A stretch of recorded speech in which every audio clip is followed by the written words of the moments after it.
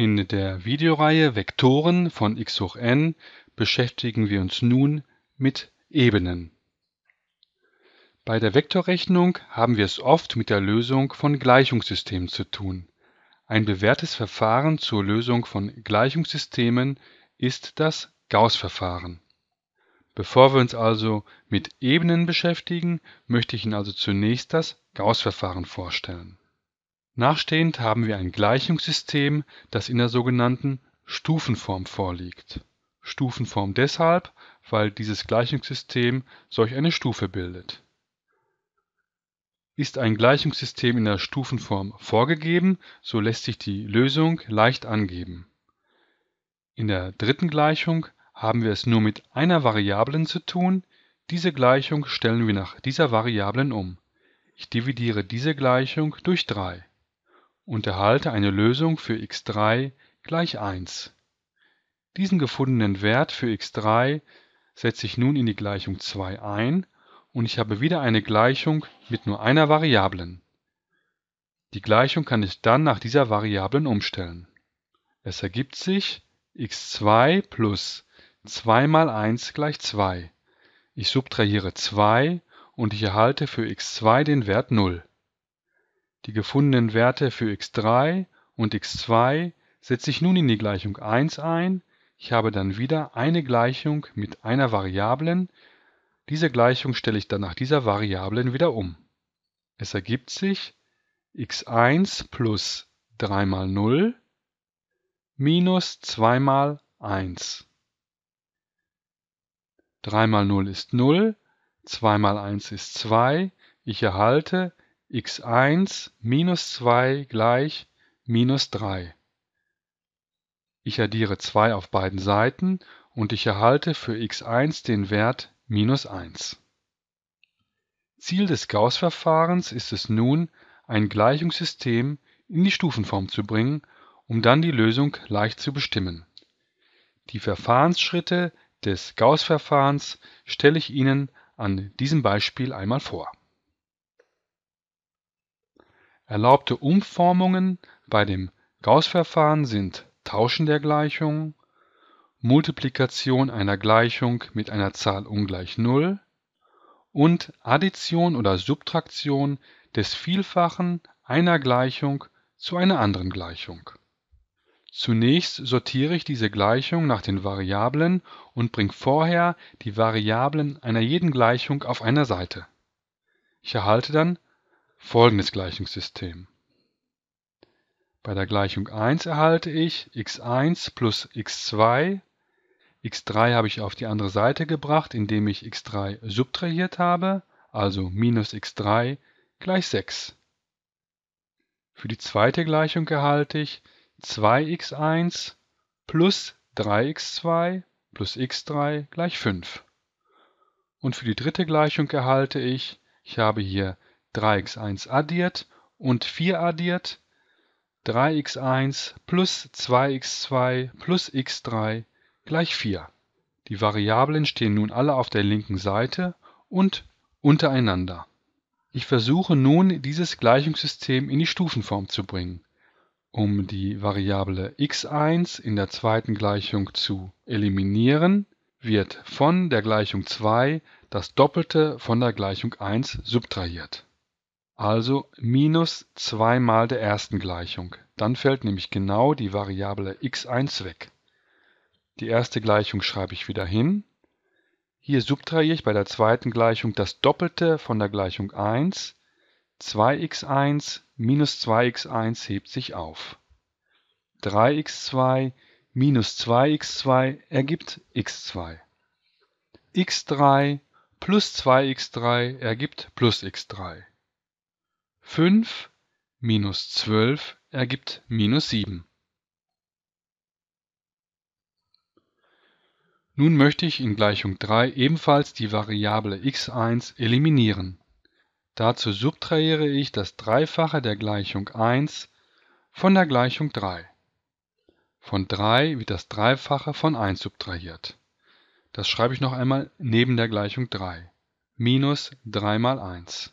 Es ergibt sich 3x1 minus 3x1 hebt sich auf. 2x2 minus 3x2 ergibt minus x2.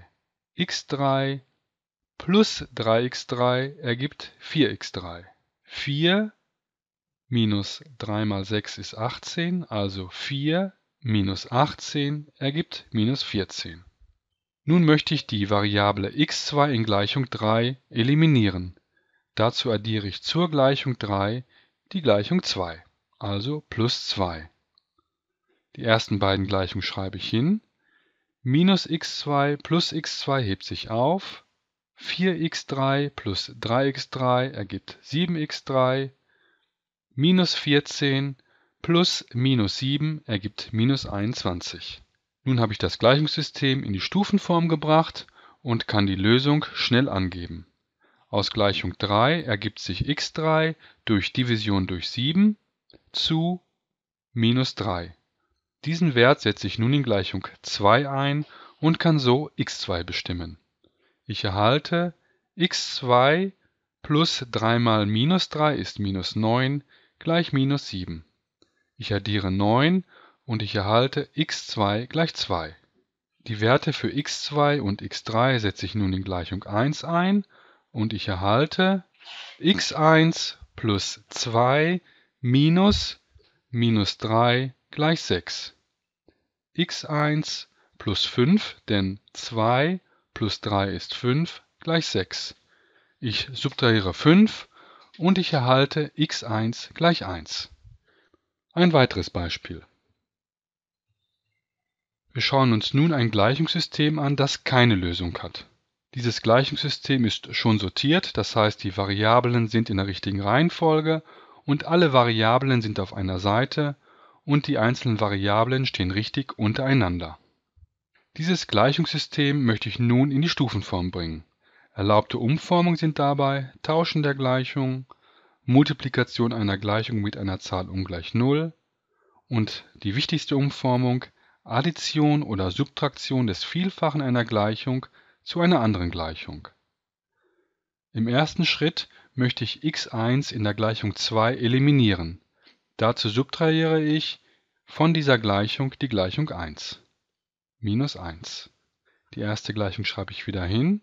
Für die zweite Gleichung erhalte ich x1 minus x1 hebt sich auf. 2x2 minus x2 ist x2.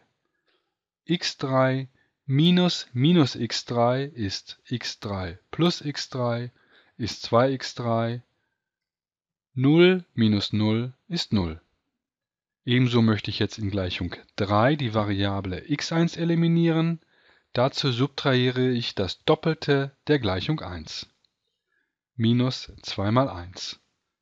Die ersten beiden Gleichungen schreibe ich hin und ich erhalte 2x1 minus 2x1 hebt sich auf. 2x2 minus 2x2 hebt sich auf minus 2x3 minus minus 2x3, also plus 2x3, hebt sich auf. Auf der linken Seite halte ich 0. 1 minus 2 mal 0 ist 1. Ich erhalte also 0 gleich 1. Egal welche Werte ich für x2, x3 und x1 wähle, die dritte Gleichung ergibt immer 0 gleich 1. Das heißt, das Gleichungssystem kann nicht gelöst werden. Das Gleichungssystem hat keine Lösung. Wenn ich bei der Umformung des Gleichungssystems auf eine falsche Lösung treffe, so hat das Gleichungssystem keine Lösung. Ein Gleichungssystem kann eine Lösung haben, ein Gleichungssystem kann keine Lösung haben, ein Gleichungssystem kann aber auch unendlich viele Lösungen haben. Dazu hier wieder ein Beispiel. Ich habe folgendes Gleichungssystem. Die Variablen sind schon alle auf der linken Seite und sortiert und stehen untereinander. Im ersten Schritt möchte ich in Gleichung 2 x1 eliminieren. Dazu subtrahiere ich von der Gleichung 2 die Gleichung 1. Die erste Gleichung schreibe ich wieder hin. Für die zweite Gleichung erhalte ich x1 minus x1 hebt sich auf, 3x2 minus x2 ergibt 2x2 Minus 2x3 minus x3 ergibt minus 3x3. 3 minus 1 ergibt 2. Bei der dritten Gleichung möchte ich ebenfalls x1 eliminieren, dazu addiere ich das Doppelte der Gleichung 1 plus 2 mal 1. Die ersten beiden Gleichungen schreibe ich wieder hin und für die dritte Gleichung erhalte ich minus 2x1 plus 2x1 hebt sich auf. Minus 2x2 plus 2x2 hebt sich auf. Minus 2x3 plus 2x3 hebt sich auf. Auf der linken Seite erhalte ich 0. Minus 2 plus 2 ergibt 0.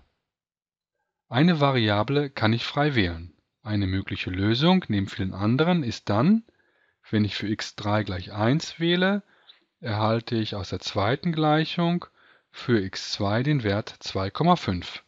Ich setze in die zweite Gleichung einfach für x3 den Wert 1 ein und stelle nach x2 um. Die Werte für x3 gleich 1 und x2 gleich 2,5 setze ich in die erste Gleichung ein. Diese Gleichung stelle ich dann nach x1 um und erhalte den zugehörigen Wert für x1 gleich minus 2,5. Eine mögliche Lösung dieses Gleichungssystems ist also minus 2,5, 2,5 und 1. Für x3 kann ich aber jede mögliche Zahl wählen, so dass ich ganz viele Lösungen für dieses Gleichungssystem bekomme, nämlich unendlich viele Lösungen. Ergibt sich bei der dritten Gleichung eine wahre Aussage, so hat das Gleichungssystem unendlich viele Lösungen. Ergibt sich bei der dritten Gleichung eine falsche Aussage, so das Gleichungssystem keine Lösung. Ergibt sich bei der dritten Gleichung ein Wert für die dritte Variable, so kann ich die mögliche Lösung berechnen.